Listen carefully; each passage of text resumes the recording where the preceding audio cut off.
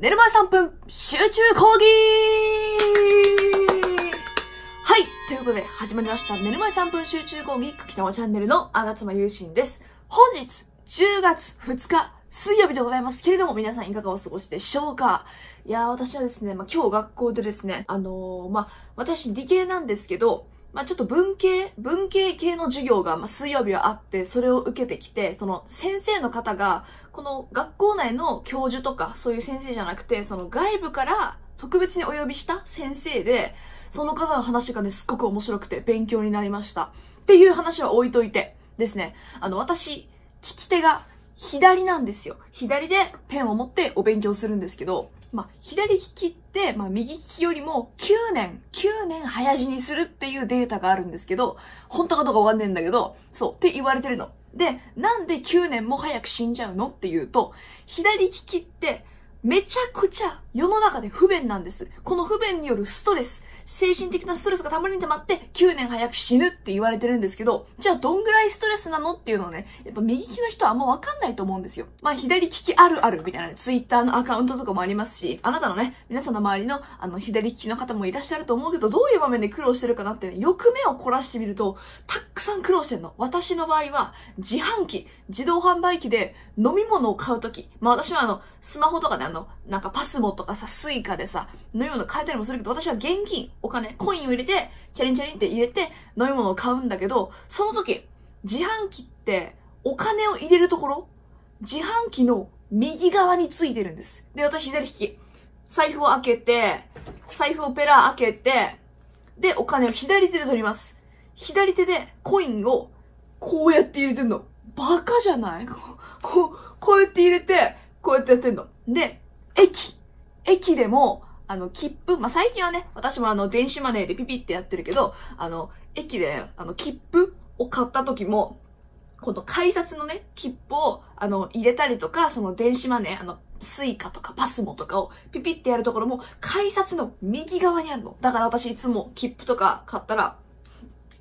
入れたり。だからこれがパスモだとして、パスモだとしたら私が駅の改札通るときに、こうやって言ってんの。ピピ、仮面ライダーの変身じゃないんだからさ、何してんのって感じでしょでも、左利きの人って物を左手で持つことが、もう基本中の基本だから、こう、あ、意識的に右手に変えること不可能なの。そういう風な、あとドアノブとかね、もうこれ言ったらキリがないぐらいなんだけど、ちょっと甘噛みしちゃった。私は今学生で毎日お勉強頑張ってて、まあこういう感じでね、これ筆箱です。これペンです。文房具を使ってるんだけど、文房具も、まあ右利きの人は気づかないと思うんだけど、大体の文房具が右利き用なんですよ。で、まあ代表的な例は、左利きの中では代表的な例なんですけど、ボールペン。ボールペンって先端にボールがついてて、こう引くとね、あの、コロコロコロって中のボールが回って、これめっちゃインク漏れしてる。これめっちゃインク漏れしてるんだけど、あの、芯が出てくるんだけど、あ、インクが出てくるんだけど、あのね、ボールの回転が、左利きが広角回転にうまく、このボールが回ってくれないんだって。だから、どういうことかっていうと、左利きは右利きよりも、ボールペンのインクの出が悪いんだって。ね、これ知ってる人と知らない人でね、だいぶ差が分かれると思うんだけど、あとは地味なところで言うと、シャーペン、ここにね、ユニアルファゲルをご用意しましたけど、えっと、私左利きです。いつもこうやってペンを持ちます。皆さんから見たら今このユニアルファゲルって思いっきりね、あのちゃんと見えるけど、私からこの印刷を見たら、逆なんですよね。で、大体のペンが私、あの、キャスティック、これ修正ペンですね。私から見たらこう。もうね、ほぼすべて、ほぼすべてのペンが私から見たらもう逆なんですよ。そう、これとかもね、なんか、その使ってて、おお、今、ユニアファゲル使ってるぜっていう感じ全然ない。全然楽しくない。逆だから。あと、地味に辛いのはこれ。クリアファイルです。こちらに私がえいつも学校で使ってるクリアファイルご用意しました。クリアファイルって、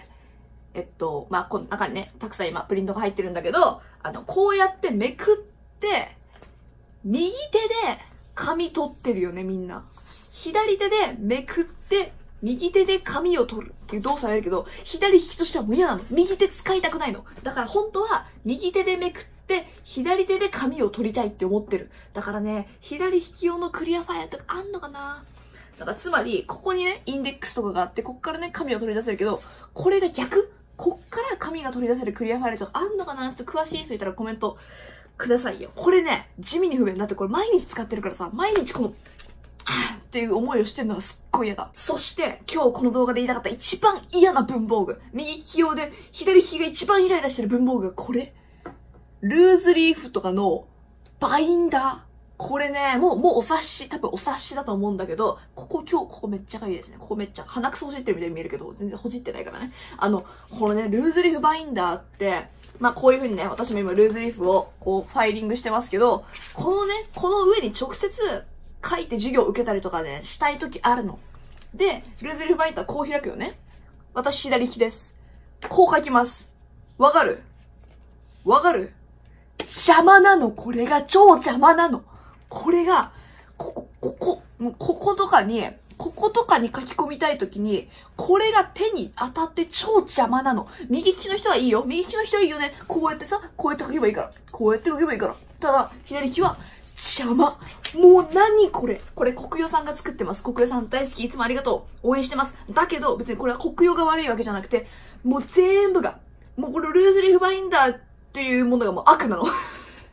とにかく、邪魔で邪魔で邪魔で仕方ないの。で、あの、最近どこの会社だったか忘れちゃったんだけど、このルーズリーフバインダーのこの輪っかの部分が柔らかくなってるから、書くときとかも邪魔にならないよっていう文房具あったじゃないですか。ちょっとどこのメーカーさんだったかちょっと失念してしまいましたけれども、ここ柔らかいよってなるけど、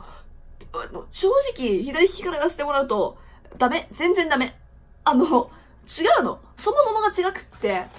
ここについてるやつじゃなくて、ここについててほしいわけ。だから、国語の教科書と同じ方向に開いてほしいの。これはね、あの、数学とか理科の教科書と同じ方向に多分開くと思う。こうやって、こうやって開くから。これを反対側に、反対側にこの輪っかをつけて、こう開いてくれれば、左利きもこう開けるわけ。まあ、逆にね、右利きの人は使いづらいと思うけど、右利きの人はこれ使えばいいじゃんね。だからさ、これがね、これマジで悩んでんの。で、あの、左利きの文房具、左利き用の文房具ってね、最近たくさん出てて、本当に、私が小学生とかの時に左利き用のハサミとかがまだめちゃくちゃ値段が高かった時代、すっごく悩んでたんだけど、その時と比べたら今って相当左利き用の文房具、あとこれね、私が使ってる無印の、あの、両利き用の物差し、この両方にね、あの、メモリが書いてるこの物差しなんかも出てきて、めちゃくちゃ便利になってる。ただ、こことか、こことかに全然業界が目つけてないと思う。私、文房具、ちょ好きだからたくさん調べてて、あの、毎週ね、東急ハンズとか文房具屋さんとか行って見てる。あの、書店とか行って見てるけど、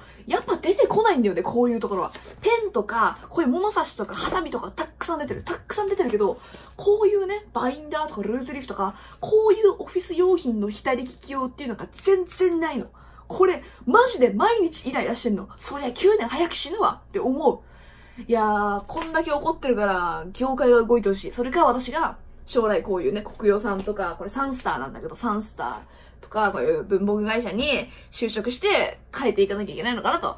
思ってます。皆さんもね、なんかこう、なんかイライラすんだよねっていうことあったら、ぜひあの、はけ口にしてください。あ、わ、私への悪口はやめてね。Twitter の DM も開放してますので、なんか気が向いたら、ぜひぜひどんどんください。返すか返さないかは私次第ですけれどもね。あの、コメントもね、これから YouTube のコメントも、せっかくね、皆さんがコメントくださってるんで、どんどん動画で取り上げて読んでいきたいと思いますので、ぜひ皆さん、コメントよろしくお願いします。ということで、もう怒りすぎて血圧上がっちゃったから今日は早めに寝たいと思います。ということで、以上今日の寝る前3分ショート、ホームルームじゃなくて、寝る前3分集中講義はここまで柿山チャンネルのあなたの優秀でした。たったー